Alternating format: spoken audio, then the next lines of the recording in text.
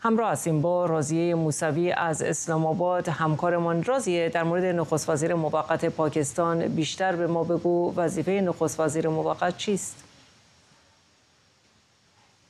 خب اول اجازه ما در مورد قانون پاکستان صحبت بکنم. مطابق قانون پاکستان پس از ختم دوره پنج ساله پارلمان دولت موقت یا دولت انتقالی روی کار میآید که در 60 روز بتانن انتخابات را برگزار بکنن و هدف از بر...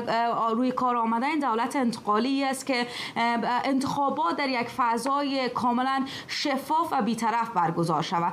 اما درست سه روز مانده به ختم مجلس شهباز شریف نخست وزیر سابق کشور مجلس را منحل کرد و اعلام کرد که دولت موقت روی کار می آید. به این ترتیب مطابق قانون وقتی دولتی قبل از ختم دوره کاریش قدرت را به دولت موقت مسپاره این زمان از 60 روز به 90 روز به تعویق میفته یعنی حالا دولت موقت 90 روز فرصت داره تا انتخابات را برگزار کنه پس از او هم شهباز شریف همراه با رهبر اپوزیسیون آقای انورالحق کاکر را به عنوان نخست وزیر موقت به رئیس جمهور کشور پیشنهاد کرد و عارف علوی رئیس جمهور کشور آقای انورالحق کاکر را تایید کرد.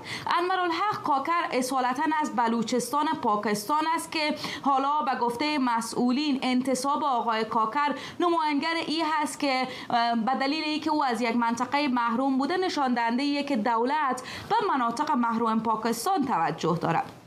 درست به تاریخ 14 اگست روز استقلال پاکستان آقای کاکر سوگند وفاداری خورد و تقریبا یک هفته پس از او هم کابینه موقتش را معرفی کرده بود که اونا هم سوگند وفاداری یاد کردند. حالا هم آقای کاکر در 78 مین نشست اجلاس سران سازمان ملل به عنوان نخست وزیر پاکستان اشتراک می‌کنه که این سفر به تاریخ 18 تا 22 سپتامبر برنامه‌ریزی شده.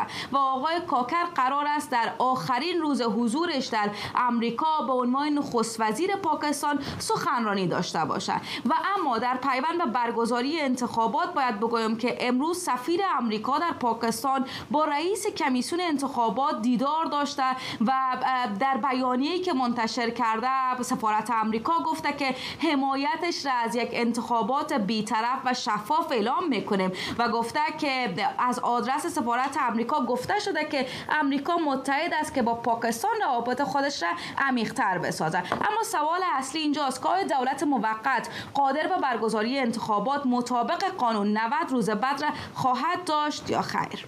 ممنونم از رازی همکارم رازی موسوی از اسلام آباد با ما.